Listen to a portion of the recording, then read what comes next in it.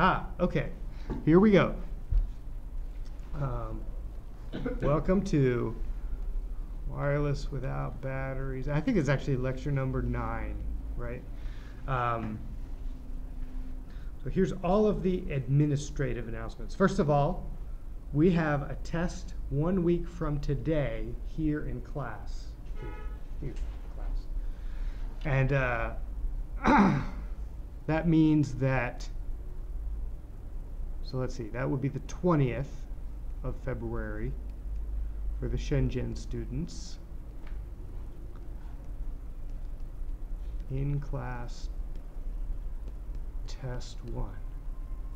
And that means that there's a now a window from the 20th to the 27th of February for the distance learning students to take this same test, same subject test. Uh, arrange with your proctor. I'll get the forms out to distance learning later this week. Um, now, as far as what the test covers, everything up until today minus thermoelectrics. Decided to punt that to the next class period, even though we've already covered it. I'll just keep, rearrange the homeworks accordingly so that you would be able to work through some of the other things. This is one of the problems with this compressed term stuff is there's just not enough time to like practice and then evaluate and then discuss and uh, do everything. So we decided to, to make that concession, just give you a little less to study for. And this will be a closed notes, closed book, open calculator, open pencil, close neighbor,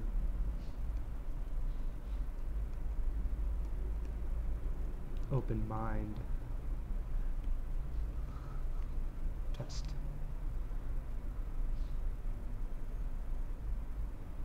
Okay. And I will give you the cheat sheet that uh, you do. You do not make a formula sheet.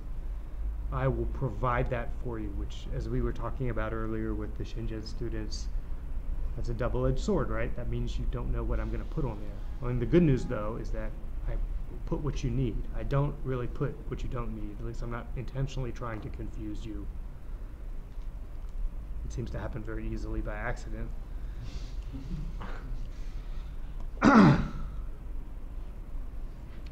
so, uh, anyway, that's the test. Any other any questions about the test? I forget anything salient? Do you think the distance learning student should know about the test that we discussed? No. Okay. So that's the test. Now for homeworks, we have three, four, and five posted online. Three is due Wednesday. Interesting little tiny mini project uh, involving predicting coverage in an AVI system or circuit analysis of a power optimized waveform. Um, and that's February the 15th, this next this coming Wednesday. Uh, this one is due next no Friday. Friday. Just got to get it done before the test. I won't have it graded by then. By the time we send it back, but at least you'll have that practice under your belt. You can talk to me about any of the issues here on campus. And that would be February the 17th. And then five, I don't even think I've given a due date for this, right? Let's just say uh, two weeks from next Wednesday. So that would be like Wednesday the.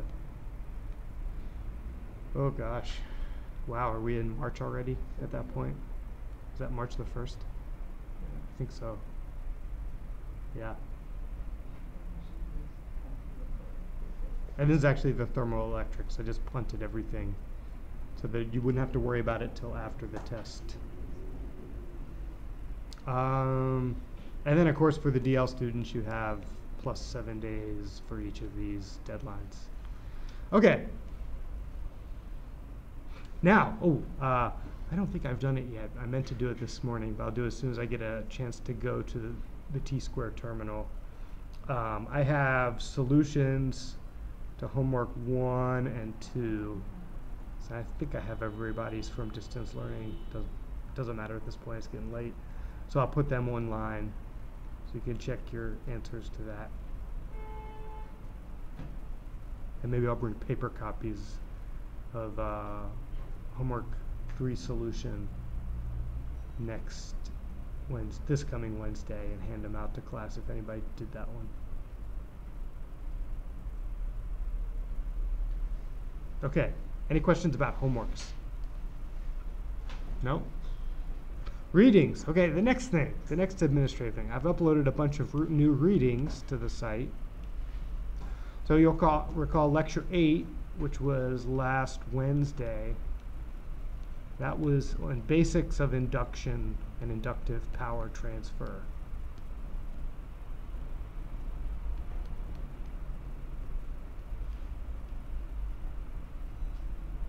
So there's a corresponding reading. I, th- I thought that was a really interesting reading. Um, it's from 2013 by Hui.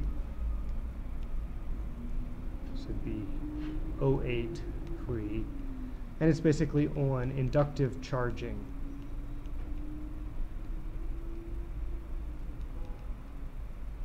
It's a good reading to, to kind of drive home the uh, what's going on in the state of the art of inductive charging. This is a century old or more, actually, technology for charging, and we are now just kind of getting to the point where we can use it for useful stuff and actually use it for inductive charging. This is how Nikolai Tesla wanted to power a city. Well, we realized there's some difficult things about making power operate that way. However, when you're doing it at very small powers, it's really easy to make like a little charging map uh, charging mat, excuse me, and throw a device on it and not have to worry about plugging in. Um, you know, the, my phone is dying right now because it basically, the, the little port that I charge in has a loose connection and like unless you like hold it just right, it doesn't charge up very well. Just disconnects all the time. Anytime you can eliminate a port, you can eliminate countless service uh, calls from your consumer base when you're selling millions of these devices. And it pays for itself just in that sometimes. So, you know, the idea of contactless charging, getting the cord out of the system, you'll see more and more of that. And there was a really famous, uh, uh, well-known industry standard. It's called the Qi standard. That's probably a Mandarin word. What does Qi mean in Mandarin, Dylan? Yeah, does it have any cool meanings? Chi. Depends. Chi. Chi. Chi. Chi. Like that? What does it mean? Strange. Okay, so it's more, more applies to me than the actual charging system. Strange. Chi.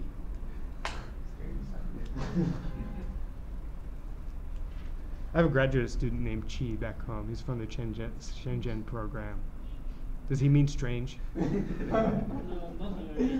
It's not all under the pronouns. Yeah. We need the need the characters, right? Okay.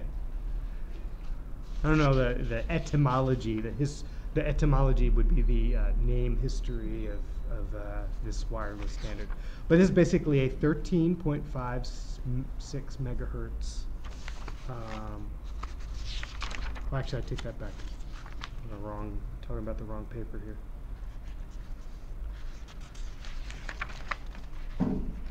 This, the Qi standard, is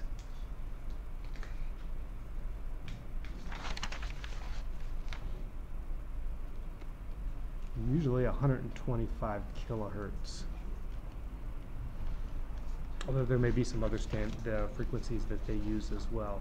But it's an interesting article that surveys this uh, standard that came out a few years ago, and it talks about how you do wireless charging. It's the, basically the principle that we talked about last class period, even though it was relatively uh, uh, just sort of an in-depth review of induction from your undergraduate electromagnetic days. In fact, I even have like uh, videos on my YouTube channel that came out of my EMAG class that if you need something a little more easy with some more examples, MSF04 and 06, I believe, uh, um, talk about inductance, charging, um, charging, the equivalent circuit model, mutual inductance. So that'll be that'll be good review. I also have some undergraduate notes that I'll try to dig out somewhere. I couldn't find them on my undergrad my um, hard drive. I'll see if I can load that up to the reading section, the supplemental reading section, not the paper section of T square. So anyway, the Qi standard is nice. You've got coils. The idea is coil like this in your device, and there would be another coil or series of coils that operate exactly how we discussed last class period that you could align these with. Uh, so, and do inductive power transfer. So, generally speaking, if you have a single coil in the Qi system, you put a magnet in here, and then there's also usually a magnet and a coil on the device that you're trying to charge. And the idea is that those magnets align and help you snap the coil into the center of the other coil. Because we saw last class period, we analyzed the B field along the axis of a coil. It's where a lot of the, the nice maxima occurs, especially if you're in that nice constant field area right on top of the coil. Of course, there's other ways to, to you'll, you'll still get flux if you have misalignment or tilt or that sort of thing, but it becomes a lot more challenging. And so in this type of system, they sort of self-align, kind of force the user to align it to some sort of charging docking station.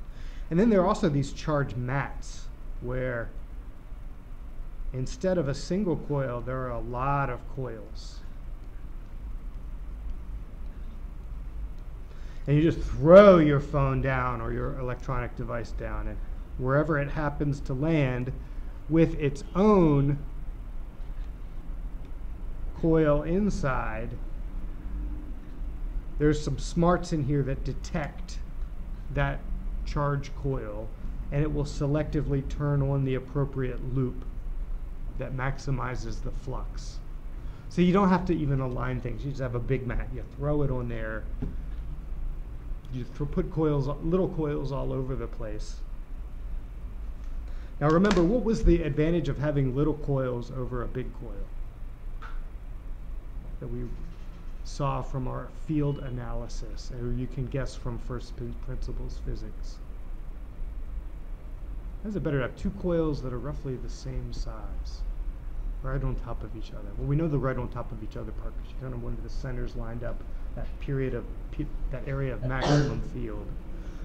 And of course, the more field strength you have emanating from your charging coil, the better, the faster you're going to charge up, right? The higher the H field.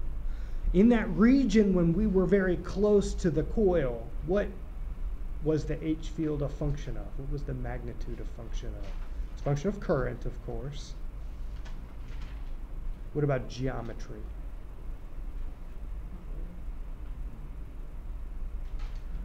we, we did a square coil. What was the dependence on L? Was it proportional or inversely proportional? Yeah, inversely proportional. The magnetic field is spread out over a wider area for bigger coils. As turns out, it's it's generally there's more flux through bigger coils than the same amount of current, but it's spread out over more area. So if you integrate over the area, you get a higher flux. But if you just look at the field strength, the field strength is lower compared to a lower coil with the same current. Yeah. And plus, there's also series resistance, right? If you have to send wire around a big coil as opposed to a little coil, you're going to incorporate more series resistance, more heating, more waste, etc. It becomes a warming mat instead of a charging mat. So, all those are, are issues, and why they kind of go with this sort of selectively exciting, excited matrix of, of uh, coils. So anyway, I'll leave you to read that. That's the reading that goes with uh, the lecture from last week. Today's topics, I actually put two more readings up there because I think we'll probably cover this third one um, today. There's lecture topic nine. And this is a 2011 research paper. There's actually been a lot of papers published on this topic, but I, I like this one particularly. Um, the authors come out of University of Washington. They might have even been with Intel Labs when they actually did this work. Uh, this is uh, written by Dr. Alanson Sample. He's a research scientist with uh, Disney Engineering. I think your dream job, right? Work for Disney and make technology for theme parks. He's actually a friend of mine. I know him from our RFID conferences. He probably has the best electrical engineering last name of all time, right? Dr. Sample. I mean, unless your name was like Volt or something like that.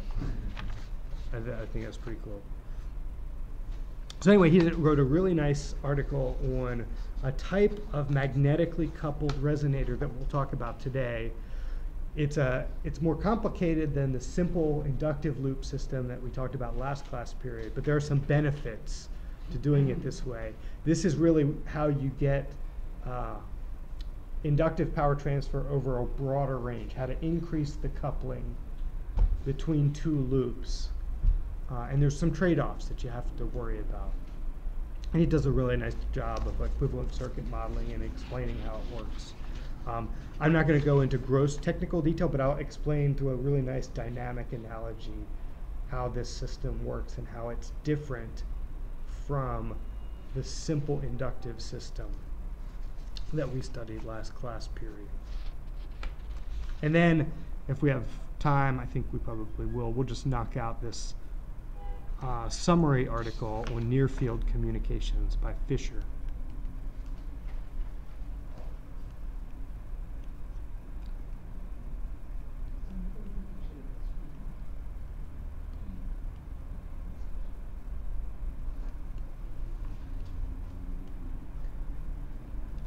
And Fisher's article is on near field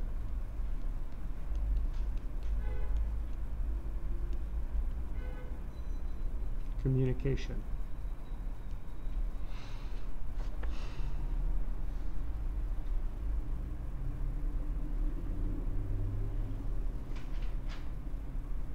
And this is again uh, uh, an inductive based system that you now enjoy in all of your phones and sometimes pay with and that sort of thing. We'll explain just the basics of how that works. It's a pretty simple system. It's an aggregation of several inductive power power communications type systems. And we'll explain at the high level so how that works, how it's organized, a little bit of the history around it, technologically, what are the engineering issues. And then we'll be done with the inductive communications. So we might finish up today on inductive communications. I don't know. Okay, but first let's talk about the sample paper. So in your notes, this is conventional coupling. Say conventional versus overcoupled.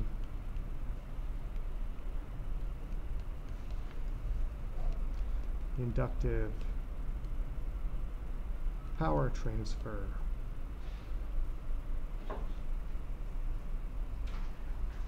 Now, let's review. The system we talked about last class period, which is two coils that are sharing flux. We said the best way to share flux, of course, is put them right on top of each other, but that's not the only way. Uh, you put them on the side, anywhere except for perpendicular, right? Any, anywhere that's uh, not parallel to the magnetic flux lines em emanating from the exciter coil. So an exciter and you have a pickup.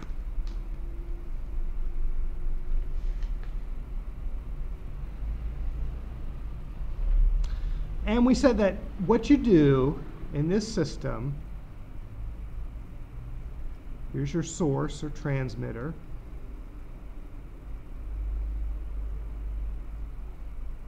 And it's connected to a coil, which first of all you try to tune so that it self resonates. It's got some, it's called this loop resistance C loop. And it has L1, mutual inductance that couples with the loop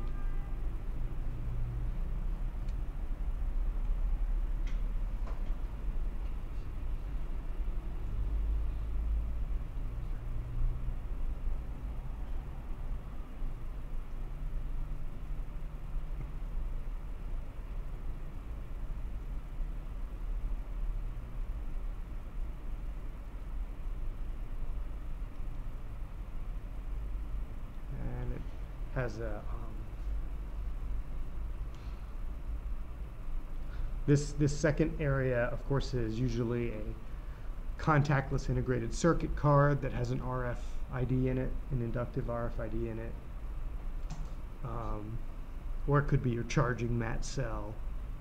And the principles of operation for the uh, system is actually pretty straightforward right?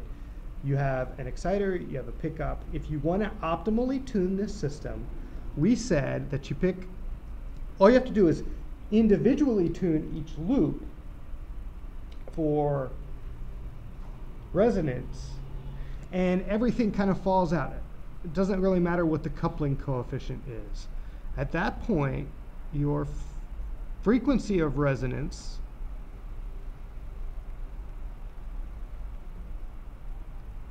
is designed so that 1 over the square root of C loop times L1 should be the same as 1 over the square root of C coil L2.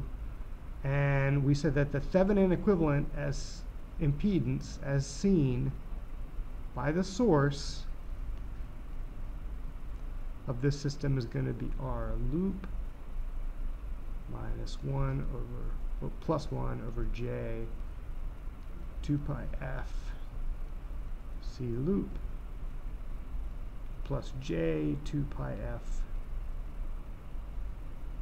L1 plus 4 pi squared f squared m squared over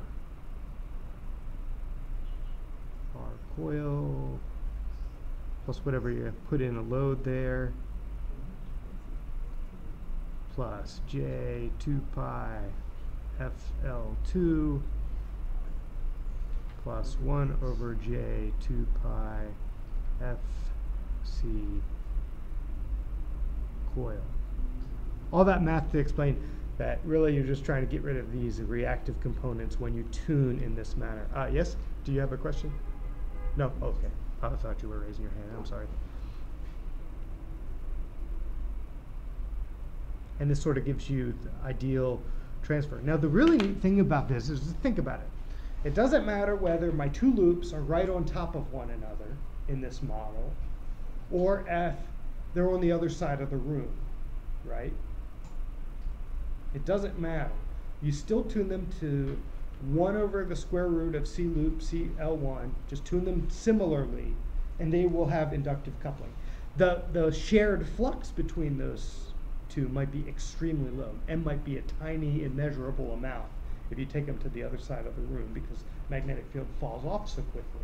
But it still couples. And if you made everything out of superconductors and didn't have any loss in your environment, it really wouldn't matter if you tuned it how far you went away because ZTH, let's call this the ideal superconductor case. This is basically, okay, R loop, that goes to zero. Reactive components, gone. The only thing left as the coil impedance re- resistance also goes to zero and those reactive components go away, is this.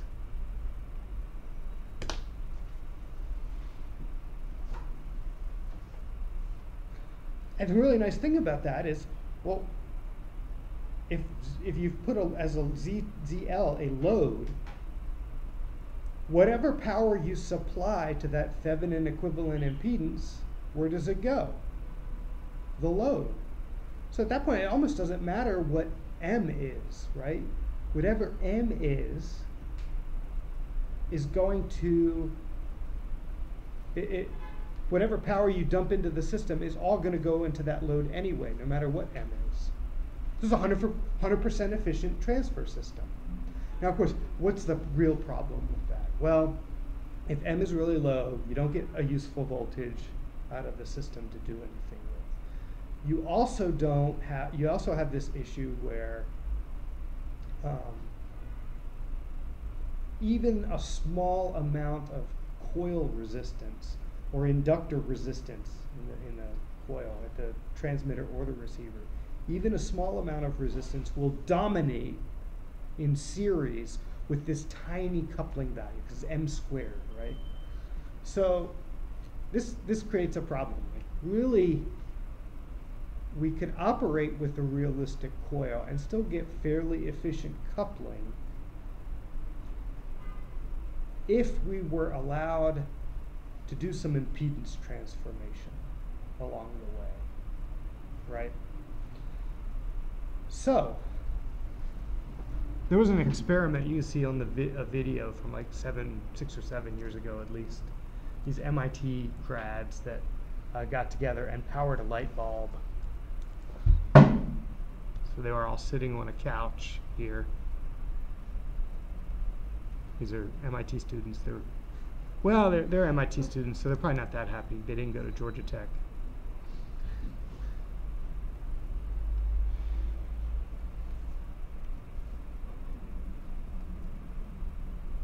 and they had some exciter coil here and then something connected to a 100 watt light bulb over here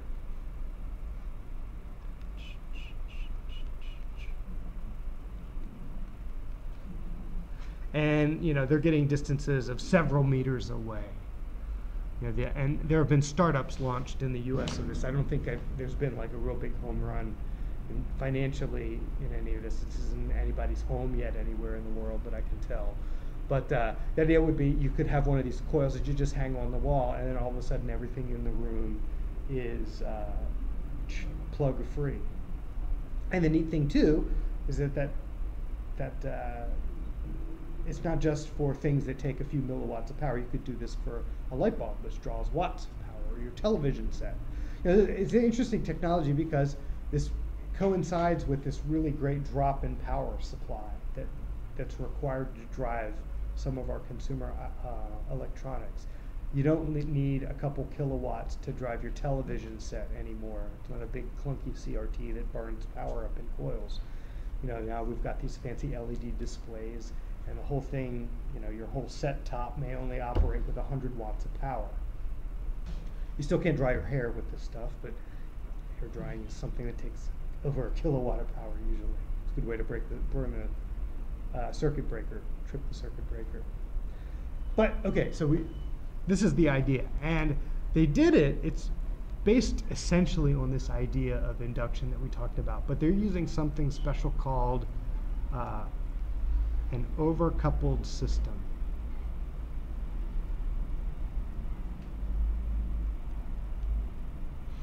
And the paper that I want you to take a look at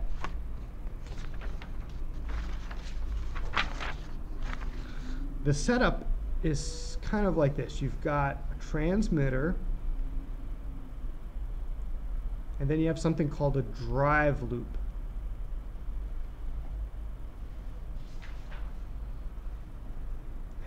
This drive loop feeds a TX coil.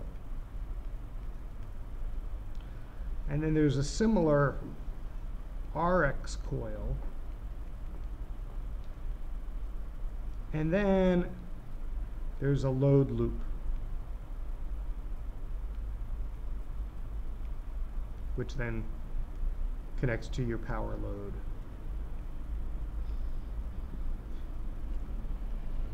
I say conventional systems don't really work beyond the dimension of their largest loop. This is a rule of thumb that I teach to my tech students all the time back in Atlanta, the undergraduates. It says if you're doing induction for senior design and you're trying to design uh, a loop exciter, don't if it's L distance long, don't expect it to work more than L distance away. And this is a way to increase, the, the technique here is to increase the coverage area by almost a factor of 10. And so the equivalent circuit model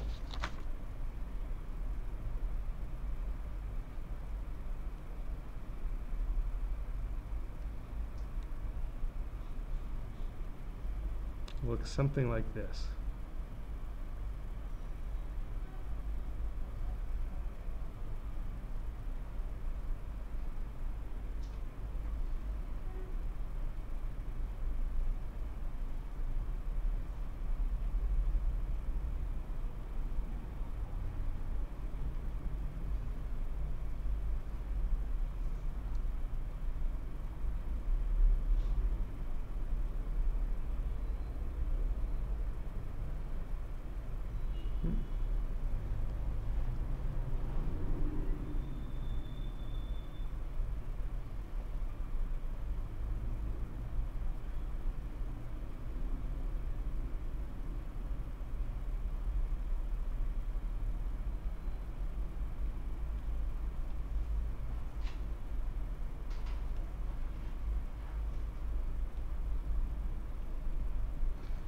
And of course, the trick here is to get the most power and the most voltage to your load resistor right there.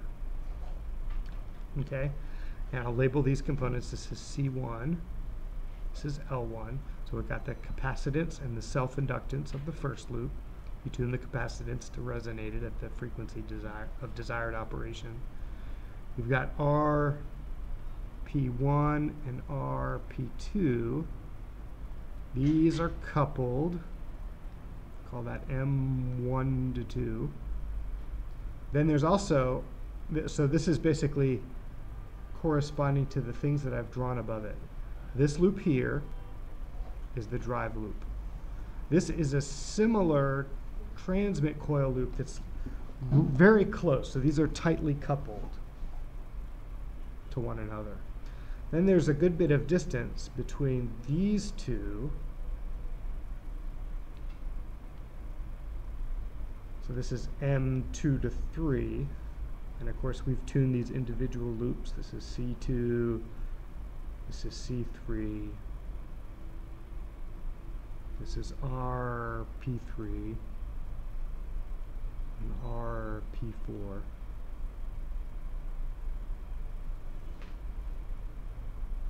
L3, and L4. So this loop here, the RX coil, is modeled by this simple tank circuit. This is just a simple RLC circuit, tuned to resonance. And there's a coupling between that and the load loop. L3 and L4 are mutually coupled. We saw that M3 to 4. And of course, there should also be some coupling coefficient between the RX coil and the drive loop, and the drive loop and the load loop, and also the TX coil and the load loop. But it turns out that those don't really matter in the system. They're either insignificant or they don't contribute that much to the system. It's this successive coupling that really drives what we're talking about. Um, okay, so.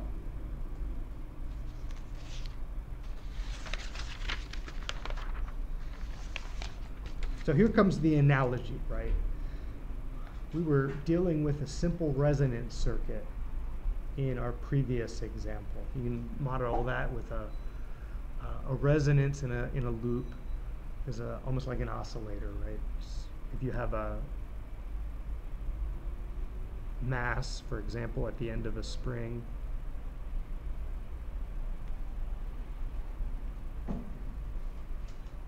right? If I start tapping the mass, I give energy to it.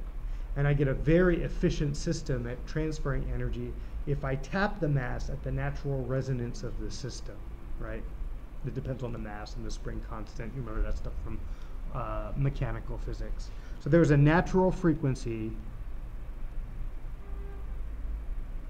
we call resonance that if I start tapping that mass, I impart power to it very efficiently. Almost doesn't matter how much the force is, where, uh, as long as it's the resonant frequency of the system. This system up here is analogous to the following mechanical system. Let's say I had two pendulums and they are swinging back and forth and they are connected by a spring.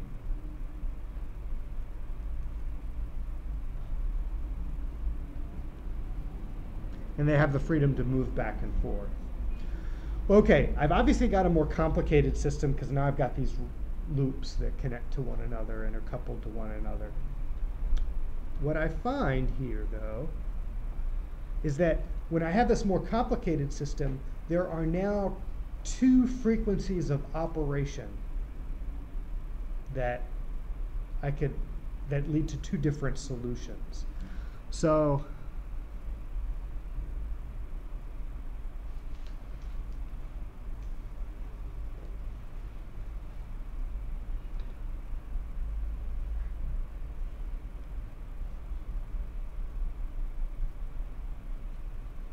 there's this mode where the pendulums are swinging back and forth with respect to one another. And if you view one pendulum as the transmitter and one of them as the receiver, then they're, they're in resonance with one another. They're both swinging at their natural frequency. If they're driven at that frequency, they will, transmitter one will impart energy efficiently to transmitter number two. And in the overcoupled system, you also get another mode.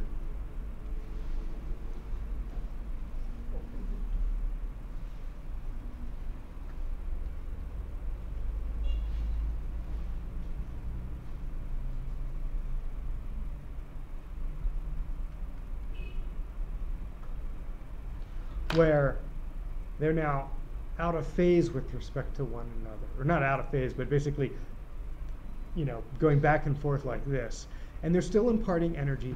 And that's actually, these are two different resonances.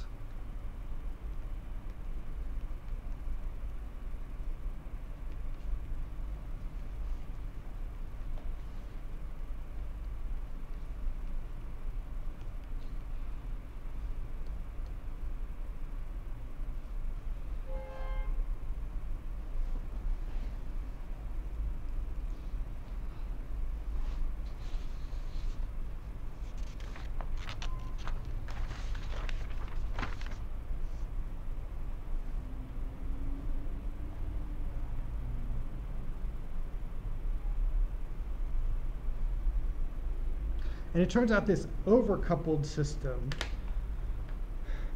if, if you operate in an overcoupled mode,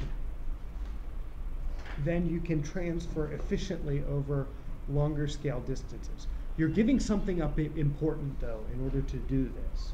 What is it you're giving up? Well, it turns out that the frequency of operation here, when you are in an overcoupled mode, becomes dependent on the uh, coupling coefficient between your inductors. So in other words, as I move my devices farther and farther apart, I may actually have to change the frequency of operation in order to get that coupling with the same hardware. In the experiment that they do here, they actually do that manually. They've got uh, a pickup coil one page, uh, I'll just describe it rather than bringing it up electronically, rummaging through it. On their figure five, they've got a drive loop and then the the passive loop that goes around it, uh, the coil. And they change the coupling coefficient just by changing the angle, right? By changing the angle, you reduce the flux. And you can change the coupling coefficient between the drive loop and the transfer loop. There are other ways to, to do that electronically, they just chose that one amount, so, but all of these systems that are based kind of on that MIT technique for uh, overcoupled systems behave in kind of the same similar manner. You have extra coils that are not just uh, there to couple between one another, but also to step up voltages. Um, I know we're past break time, but I just want to finish up with this before we do a quick break. So to give you an idea, these are sort of the, the key equations.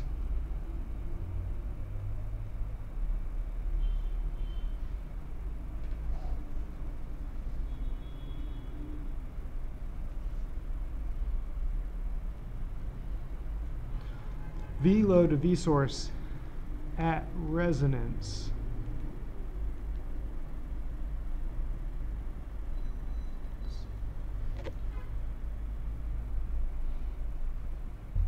Is equal to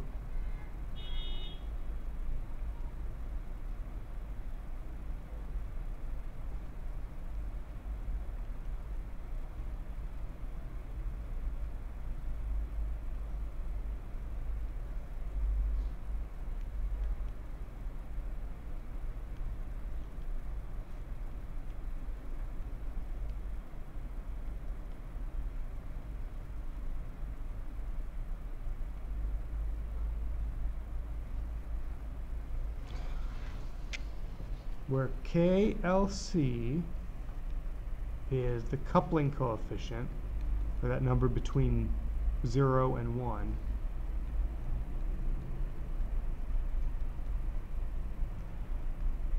between the loop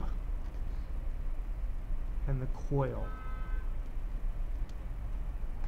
So that drive loop and that multi-wound coil that was the second loop in our equivalent circuit. That's what LC, I'm just using the paper's terminology. And of course, the Q factor is really the conventional Q factor for um, an RLC circuit, 1 over R times L over C. The quality factor of your resonator.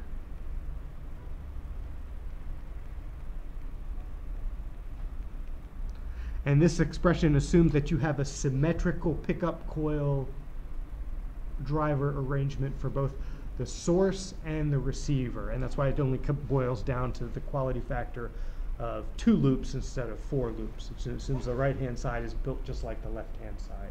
So you have a Q coil and a Q loop.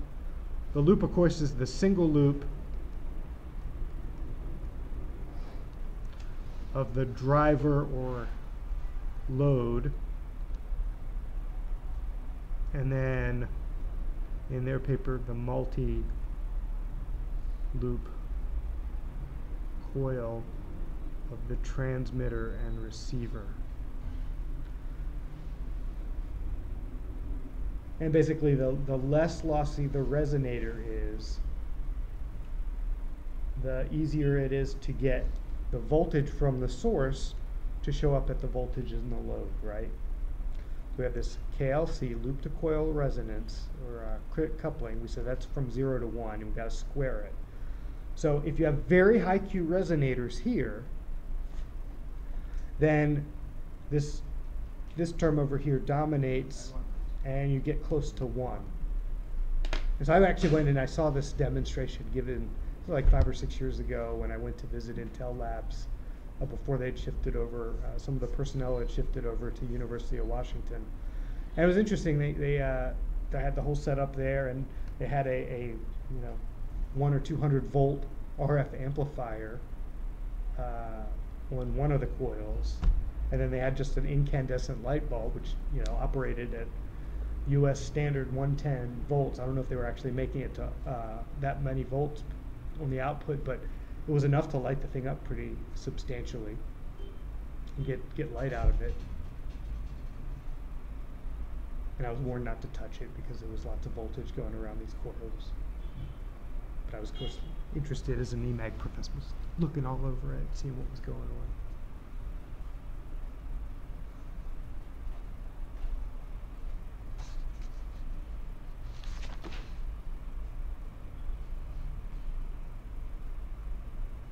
Okay, that's a good spot for a break. We'll meet back in about 10 minutes. Oh, welcome back. Do you think of any questions before?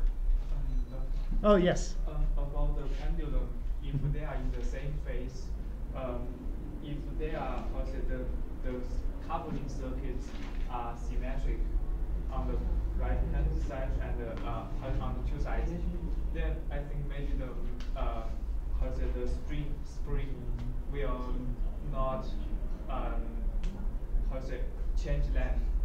And uh, then how then how, how is it related to the um, coupling, yeah, the inductive coupling uh, coefficient M two three? Because they uh, they will not have force Mm. within the string with the spring, so then Yeah, so so the the analogy there is if you have a pendulum, each of the individual pendulums has a natural resonance, right? uh, So if you connect them with a spring, there are two modes of excitation, right? You can have them move in unison, and that transfers power efficiently at one frequency, and then you can have them move like this at a different frequency. Yeah, but, but if they are exactly in the same phase and with the exactly the same uh, frequency Yeah. and the same length, Yeah. uh, identical, Yeah. and then the spring will not have force. That's right, that would be the first solution. Uh, then uh, why then uh, how is it related to the M two three? Because then uh, because I, I think even in the circuit, if it is in the same phase, it will have inductance. That's true. Mhm. Then then how how these two are can be uh, nanos? How do you how do you reconcile the analogy in that case? Um, let's see. Well, I don't think in that analogy, I don't think there's a one-to-one correspondence between the spring coefficient and the mutual inductance. So it's it's just meant to be an analogy. There's there's two modes of that dynamical system, and the differential equations look like the the same thing that's going on with this mutual system. But I don't think there's necessarily you can't necessarily say this spring coefficient is just like the coupling coefficient of. I guess they're both called k, so it could be, it's maybe a confusing analogy, right? The spring constant is a k, and the the inductive uh, coupling coefficient is also a k. But I don't think there's a one-to-one correspondence. If you wanted to make a dynamic correspondence, that k in the spring coefficient may be a big algebraic expression of multiple coupling and inductive terms. Okay. Uh, thank you. I would have to, you'd have to get in, there, there's grotesque detail of how to model the circuit in the uh, Sample paper. And so what you, what you're looking at is, uh, in equation three, I don't know if you have the paper in front of you, but, uh, this very long circuit modeling equation that's a function of all the mutual inductances and coupling coefficients and loads and impedances that, uh, tell you how to calculate the ratio of V sub L to V sub S, the so- load source to the, uh, load voltage to the source voltage.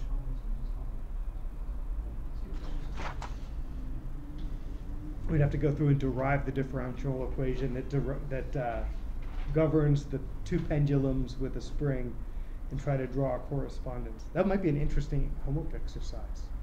I think Mulan just, Mulan invented a really good homework problem.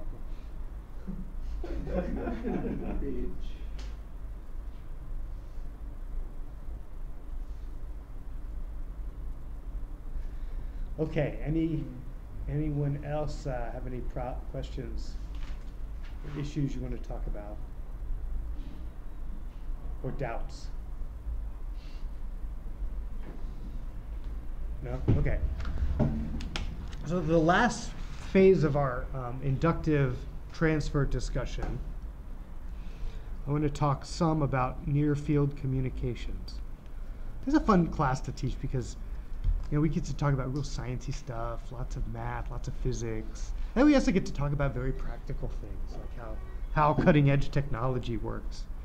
And so near field communications, which is really at the heart of all these payment technologies that are rolling out for smartphones and everything, the idea's actually been around for a while. And I'll give you a little history of it. In the 1990s, we saw this proliferation of inductive card technologies, inductive smart card technologies. And did anyone ride the bus today to get here? Anyone? Raise your hand if you did. Nobody? Y'all, y'all have a car? The metro. Oh, yeah. Okay, so you ride, you used your Shenzhen Tong card for the metro, right? That had a chip in it, inductive windings. And I think I showed a picture of the inset that I ripped out of one of those fare cards from in Atlanta. It's the same thing. And it, it showed you sort of the anatomy of what one of those things looks like. Well, all these started to proliferate in the 90s because all of a sudden we could make chips that didn't require uh, 5 volts and uh, 2 amps to drive. And actually, you know, they could have a programmable memory, they could power up digital logic on a relatively low voltage and a low current draw. In the late 90s, there, there were a lot of these systems that were proliferating. And the, the near field communications, which, let me get the numbers right here. Near field communications is ISO, International Standards Organization, 18092. And this itself is also uh, an amalgam of standards. So this is the near field communication standard. And it incorporates several other standards. Uh, for example, another ISO standard called 14443. It's a smart card standard. These are all operating at 13 megahertz because there's an unlicensed band down there that's just uh, 13.45 to be exact.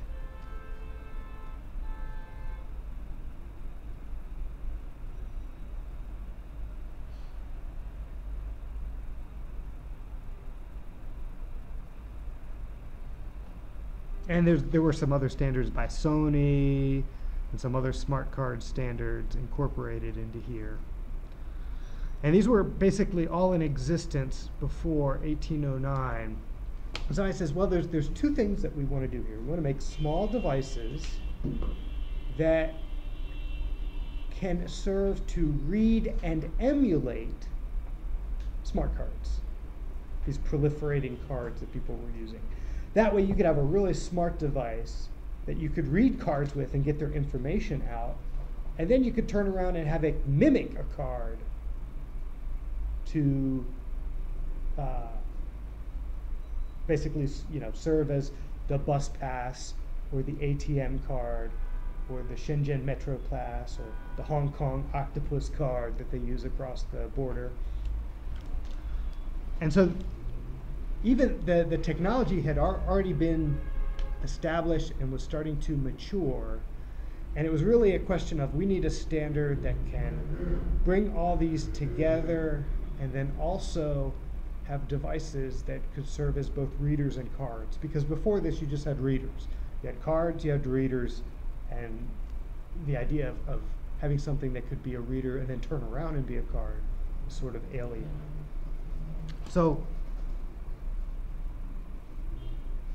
the way that your phone works here, there's a coil built into the casing, or sometimes it's even on the battery itself. And this is an NFC coil antenna. And sometimes there's just one little chip, an application specific integrated circuit that connects to your smartphone.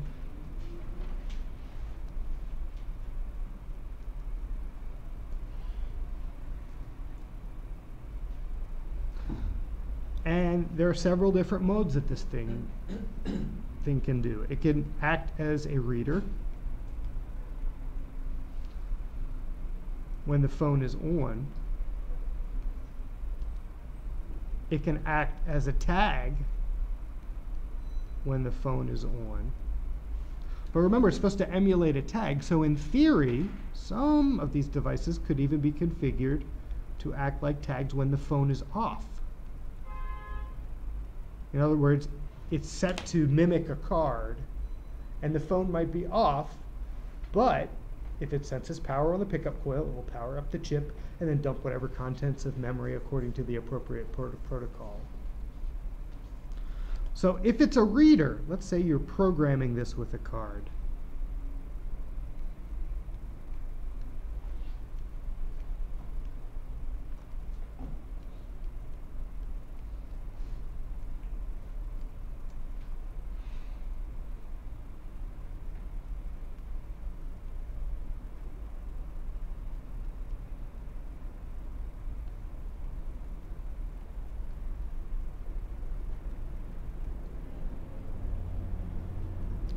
You're a reader, you power up any tag that gets close to you.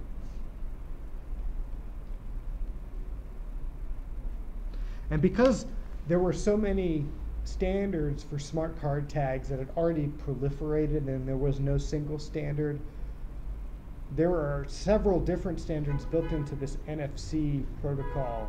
And so what, what your phone does is it actually kind of spends fraction of a second looking for one protocol and then it switches to another protocol, puts out a query or whatever identifying thing to see if there's any tags of that type protocol, then the next one, then the next one. And it kind of goes around until it comes full circle again. And that's how it works with different different cards.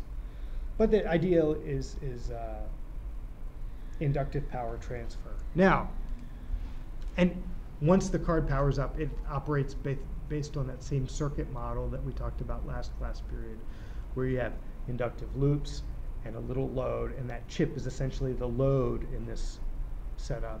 And that chip will change its load. It will load modulate passively, which can then be detected by the reader, in this case your phone or handheld device. And that's how you pull information on. You can also send information to an NFC tag uh, to initiate communications or give it other types of commands like write to memory or erase your memory or you know repeat what you last said because I didn't hear hear it right the first time. You amplitude modulate the forward signal. Usually there's a time where you just transmit CW to power everything up. Once you're uh, assured you have enough time that everything is powered up, then you start sending commands high, low, high, low to the tag and then the tag will reflect back using that load, what is effectively inductive load modulation. So that's reader to tag. And then of course it has a tag emulation mode.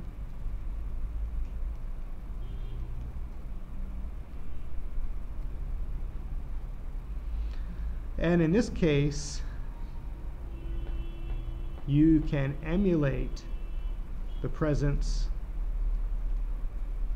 of a smart card. And you can make this passive or not passive. For example, passive or active.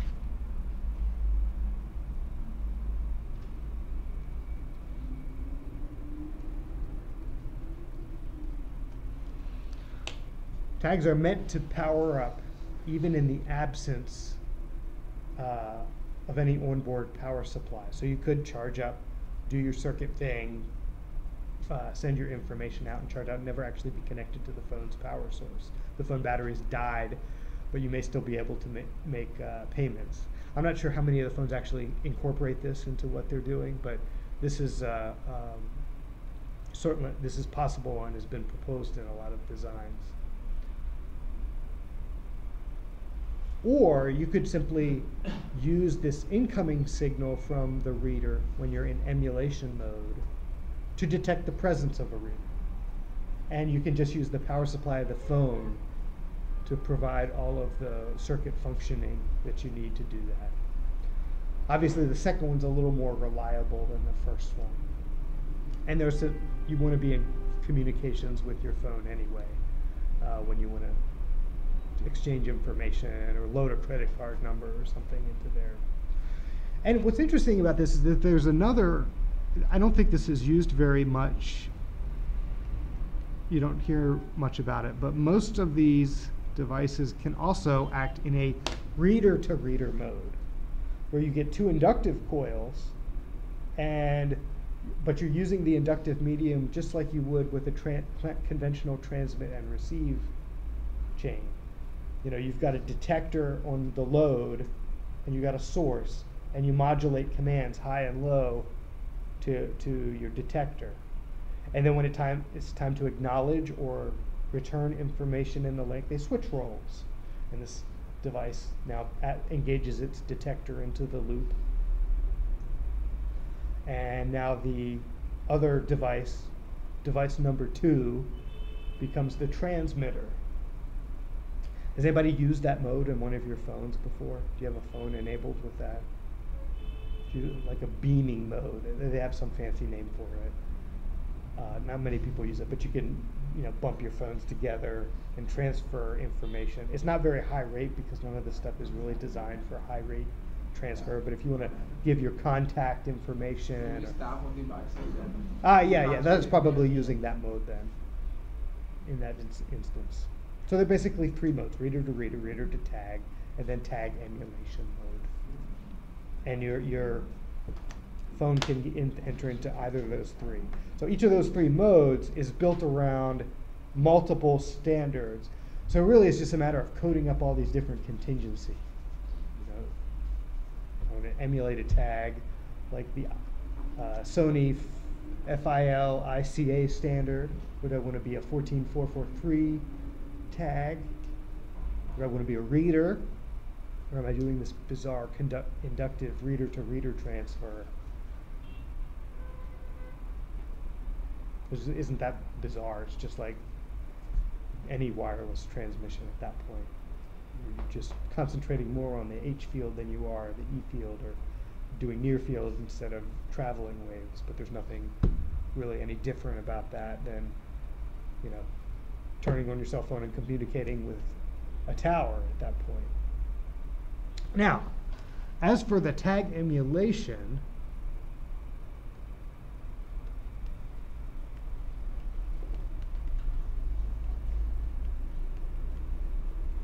there is one issue that you have to deal with electromagnetically that's a little different than a conventional carded system. Now, if you think about it, your card is a plastic device.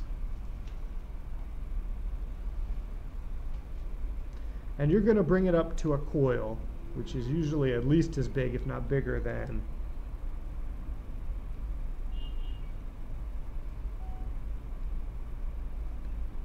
the plastic loop, the loop inside the plastic coil.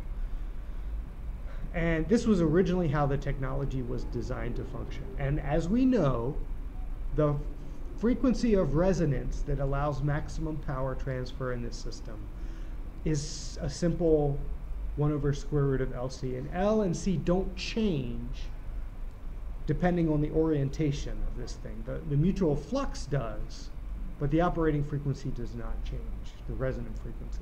It's a very nice system. You one of the things you always have to worry about in radio system is how is the user going to use this technology? This is a chronic problem with things like cell phones, right? If I take a phone and I hold it up to my head, sometimes I hold it up to my head. Sometimes I'm browsing like this. And sometimes the phone belongs to a left-handed person, and I browse like this. And I talk like this. And sometimes you have it on the phone, the, the, um, the tabletop, and you're just typing into it, right? All these ways and more. There's a thousand ways that people have thought of to use phones uh, into plastic holders now. All these scenarios create a nightmare for uh, antenna engineers because when you design an antenna, class the, the conventional way to do it is you program up your antenna, you code it up in one of these uh, uh, solvers, and you study how it radiates in free space. and you get an antenna impedance, and you get a radiation pattern, you get efficiency, you get all these parameters we talked about at, at the first couple of weeks of class. Well, now you take that same antenna, you put it next to the human head. The human head is salt water, has a very high permittivity, relative permittivity. It has a big loss tangent. It has conductivity. It screws up everything. It changes the pattern. It throws the impedance way down on the scale. And so what you thought was matched was now highly mismatched, and it's not even radiating in the direction that you thought. And then you think, okay, maybe I should design to the head case because everybody's going to talk to the phone. Which in that scenario doesn't work very well because now you pick it up with your hand. It's a completely different electromagnetic scenario. You lay it on the table, completely different. You put it in your pocket, you're awaiting a call, completely different. It's up against a, a giant thigh, you know, that's conductive, completely different. So the UHF and microwave antenna design that is actually used by human beings is really difficult. The smart card, by comparison, one of the real advantages of this induction technique is, is that it's relatively impervious to stuff nearby, especially human body stuff, right? Because these systems are going to be more influenced by permeability rather than permittivity, right? And you're going to need a lot of conductivity if you're going to affect this circuit, if you're going to be able to change the resonance or not. So I can hold this plastic card with my hand. You know, I can try to cover it up with both hands. It'll still read. You'll look like an idiot, but you should try that on the subway next time. Cover it up with both hands and put your hand like that. Put, it, put your hand on the back side. You could cover it with aluminum foil but I gotta think if uh, I gotta do a skin depth calculation to see if that'll even knock it out. Like it'll attenuate it significantly, but there are some systems that might that might one layer of aluminum foil might not be enough. You have to do some calculations. Okay, so that's the conventional usage. A little bit different when you're incorporating the tag onto a metal phone, right? You can tune the tag itself to resonate at 13.56 megahertz in the presence of all this. As long as you've got some tuning capability, that's fine. You can do that. In fact, some people even do it automatically on a chip. You just have a bank of capacitors that you select selectively bring on to, you know, increase or decrease the amount of capacitance that is due to whatever inductance that you're getting around here. So you designed a loop that's 13.56 megahertz. Yeah, the, the, at the very last minute, the in this case, the Apple uh, phone designers changed the setup or maybe where the uh, coil was exactly attached to the, um, the phone itself, and that throws off your inductance calculations.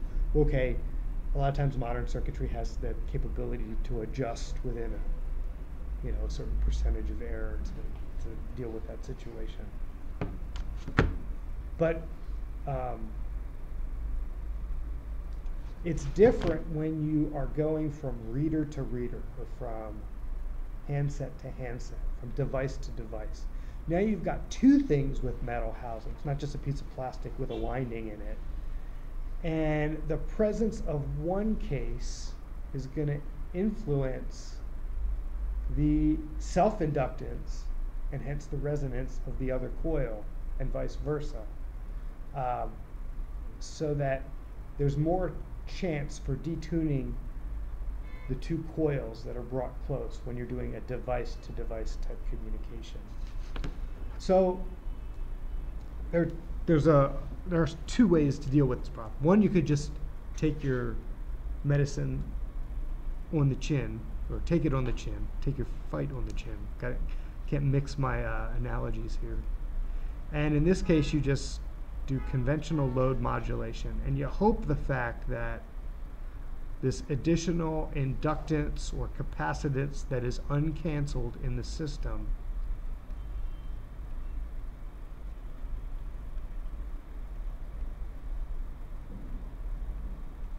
still allows communication.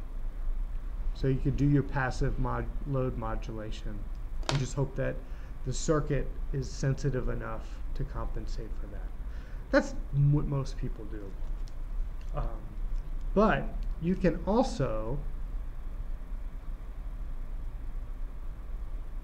do something called active load modulation.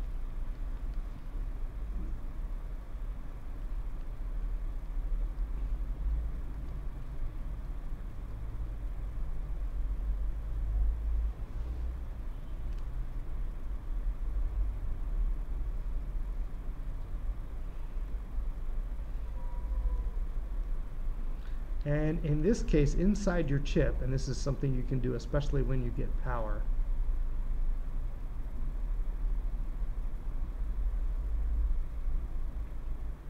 You actually have a little voltage source that you turn on and off inside your chip. And the interesting thing is, from the reader's perspective, if your device is emulating if your device is emulating this, how can you tell if, from the reader's perspective, if you have an active device or a passive device? Because the way these systems work is the reader energizes, in both cases, the reader energizes the system. And then it looks to see how much is my Thevenin equivalent impedance? How much current am I drawing in state one versus state two? And the, the, your tag in this instance, over here or over here, your chip, is basically load modulating, switching out different ZLs in the left hand side, or in this case, adding voltage source on and off. Well, let's start with another question. What's the advantage of doing it to the right versus the left?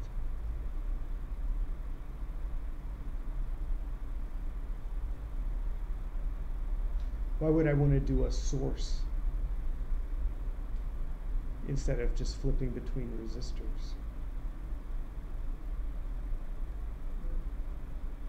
With source, we can uh, put, uh, how to say, modulate with, with uh, um, how to say, with some, modulate more. Yeah. Because the passive one, we cannot modulate at the end. Yeah, that's right. You're limited in your passive circuit by whatever power is coming in, right? You can only change between two states. Eh, Or you can change between two states, but they're two passive states. So whatever whatever information you can couple back passively, that's what you're limited by. But on the right hand side, Muyan is right, you've got a source. So you can actually add power. You can send more power back than what you received. And in this way, you can overcome some of these limitations with that, that limit range and tuning effects of inductive coupling. It doesn't affect the overall range that much when you do an active system because remember, the fields fall off of these coils so darn much. I double the coil disk separation distance, I've increased the loss by 2 to the sixth, right? By a factor of 64 every time I double these systems. So unless this is going to add orders and orders of magnitude more power, it's really not going to help me out that much in absolute range. Make make it so that I can use the things this this far away instead I can instead of having to put them right against one another. But that does a couple things, right? If I can get them close but not touching, there's less tuning of detuning effects. And even if there is detuning effects, the additional power can help make up for that. Because as I bring these things together at weird angles and close to one another, I may shift the system so that the thing is now detuned and operates at 11 megahertz instead of 13.56. With this additional power, I can still send power over. So back to my original question, how does a reader know which which system is operating? Is it, can the reader tell between a passive load modulator or an active load modulator in this circuit?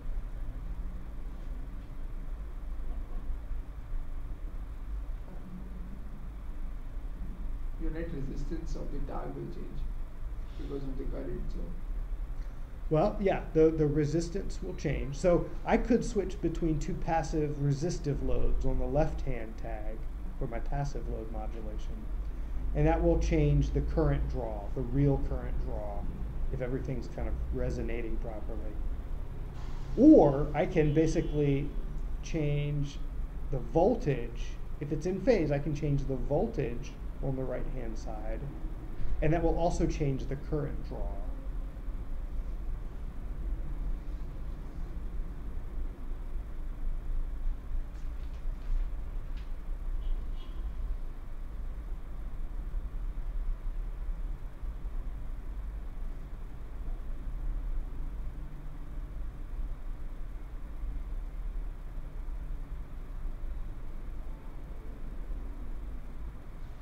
So keep in mind, in this case, a reader has a source that's continuously powering up and then has some detection circuitry in parallel to measure the current that it's drawing.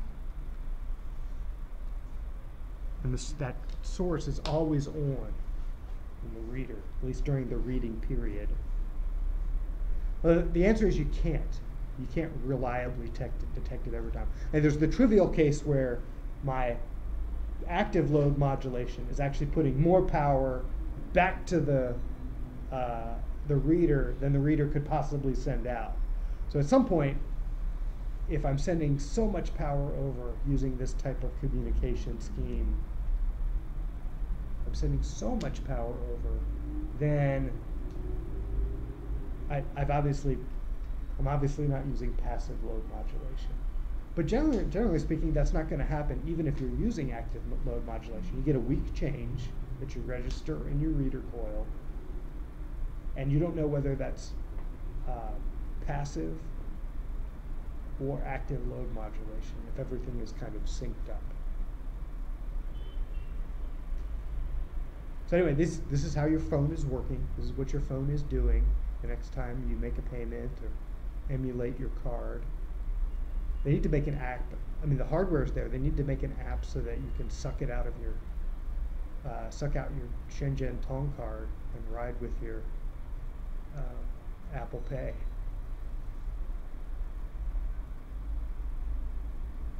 But who knows what you would do to the, the fare amounts if it was in your phone. Somebody would hack it and have unlimited rides on the Shenzhen bus.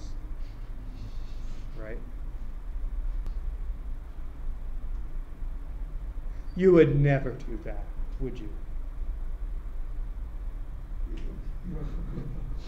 Buzzwood? Yeah, I can see that. Okay, we are out of time.